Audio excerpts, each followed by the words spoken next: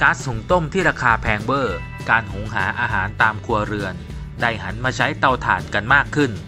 ส่งผลให้อาชีพทำเตาถ่าน ใช้ถ่านใช้ฟืนในอำเภอวาปีปทุมจังหวัดมหาสารคาม ขายดิบขายดีจนทำแทบไม่ทันกับความต้องการ มีรายได้จากการขายเตาแต่ละเดือนนับแสนบาท ที่บ้านเลขที่ 53 บ้านน้ำโจกหมู่ 14ตำบลดงใหญ่อำเภอวาปีปทุมสองสามีภรรยา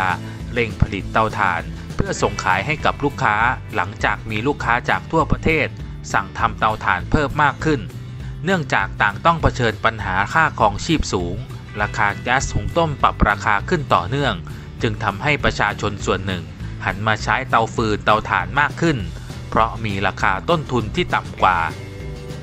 นางทุมมาพุทธมาอาชีพทำเตาถ่านขายบอกว่า ตอนนี้ชาวบ้านหันมาใช้เตาฟืนเตาถ่านกันมากขึ้น ยอดสั่งจองเพิ่มขึ้น แม้ต้นทุนจะสูงจนต้องขึ้นราคาเตาเมื่อตอนต้นปี แต่ลูกค้าก็ไม่บ่นยังต่อคิวจองซื้อต่อเนื่อง จากที่เคยผลิตได้วันละ 100 เตา ทุกวันนี้ต้องเร่งผลิตเพิ่มเป็น 200 เตา ก็ยังไม่พอกับความต้องการของลูกค้า เพราะมีลูกค้ามารับซื้อจากทั่วประเทศ รวมถึงประเทศเพื่อนบ้านด้วยสำหรับการทำเตาถ่าน เริ่มจากนำปูน ดินทรายและหินเกล็ดผสมให้เข้ากัน หลังจากนั้นจึงนำไปเทใส่แม่พิมพ์เตา ที่ทาน้ำมันเครื่องไว้แล้ว เพื่อทำให้แกะออกง่าย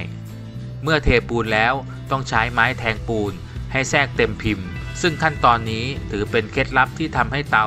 มีความแข็งแรงคงทน อายุการใช้งานนาน แล้วจึงใช้เกียงปาดปูนที่ฐานเตาให้เรียบ ทิ้งไว้ประมาณ 1 ชั่วโมง จึงแกะออกจากพิมพ์มาตากแดดอีก 3 ชั่วโมง และติดลังพึ่ง ซึ่งทำจากดินเผาก็เป็นอันเสร็จพร้อมขาย เตาไฟที่ทำขายอยู่มี 2 แบบคือเตาฮาดซึ่งเป็นเตาปากอ้าไม่ติดรังพึ่ง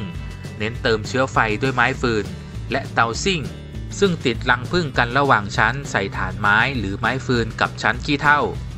ส่วนราคาขายปีกจะขึ้นตามขนาด โดยมีราคาตั้งแต่ 50 บาทไปจนถึง 100 บาท